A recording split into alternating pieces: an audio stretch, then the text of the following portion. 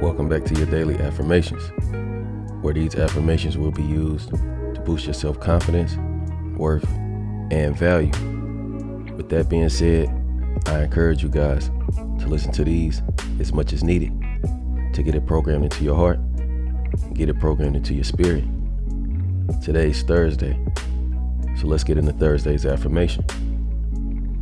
One day or day one, you decide.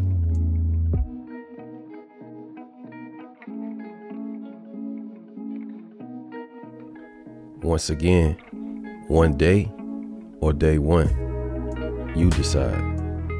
Expect your first attempt to work. At the same time, be prepared to quickly make another attempt. When your initial attempt brings the results you intended, great. If it doesn't, there's no time to waste feeling disappointed and sorry for yourself. Expect to succeed and be prepared to persist. If one or two or a dozen options are exhausted, quickly round up some more options. What looks like genius is most often persistence. Be prepared to make enough attempts, and just about any achievement is within reach. With persistence, soft droplets of water wear away at the hardest stone. Imagine what you can now do with the power of persistence. Let's get back into the affirmation. One day or day one, you decide.